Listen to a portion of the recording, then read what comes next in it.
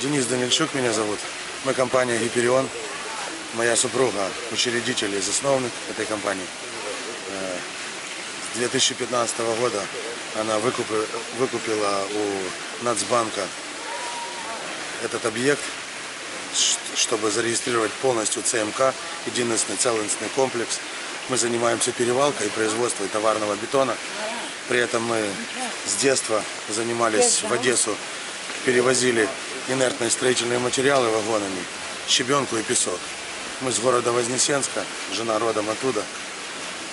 То есть сами узаконили, э, организовали карьер лицензионный, ни под какими черными флагами.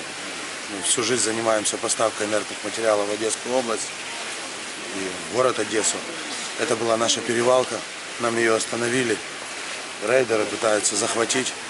Представились сначала патриотами, группа ходяка, замешанная в делах 2 мая, которые были все знаменитые в Одессе. Мы, к сожалению, только сейчас об этом узнали, это период этих, как говорится, баталий. Нас, наш же арендатор, который у нас 4,5 года на территории, арендовал тоже место под бетонный завод. Такую же деятельность, как и мы ведем. Пол- Получал у нас вагоны, мы для него работали, мои там 100 человек на базе, подавали вагоны моими тепловозами, мои люди, моими конвейерами, моей электроэнергией. На сегодняшний день они нас захватывают, потому что у них большие связи в железной дороге, в Укрзалезнице. Сначала помогали им, помогали. Сейчас мы тоже обращаемся во все инстанции.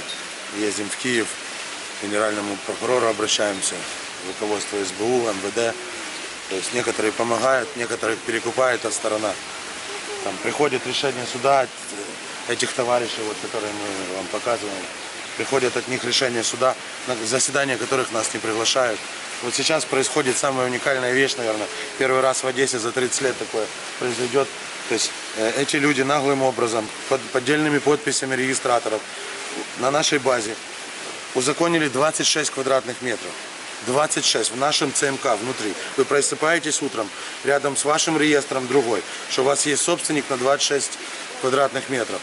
Мы обратились не куда-либо, в Министерство юстиции с э, утверждения министра, его комиссию, которую он собрал, без единой копейки денег, законно. На сегодняшний есть такой есть вариант для людей обратиться в Министерство юстиции.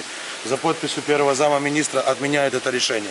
На сегодняшний день мы чего стоим на акции так рано утром, потому что суд, ну, суд принимает позов против нас, чтобы отменить решение юстиции и им вернуть 26 квадратных метров на нашей собственной территории, бывших наших арендаторов.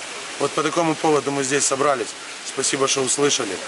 Скажите, Знаем, как дойдет- давно, как давно эта ситуация началась? 7 Э, месяцев стоим, 100 человек уволили. Остальные люди просто, вот это наши рабочие. Мы держимся, жена платит им 7 месяцев, чтобы просто не разбежался коллектив. Ну, конечно, речь идет о простой зарплате. А то, что было при рабоч- рабочем состоянии предприятия, мы в месяц по тысяче вагонов выгружали. Мы обеспечивали ну, ведущие предприятия Одессы. Мы ну, маленькой, эту, маленькую прибыль, наценку имеем, мы всегда востребованы. Мы просто помешали кость в горле на станции Застава 1, на своей же собственной базе, на своей ветке. Ну, происходит вот такое бесчинство, беспредел. Отнимают у девушки, у меня. То есть, ну, вот такая ситуация.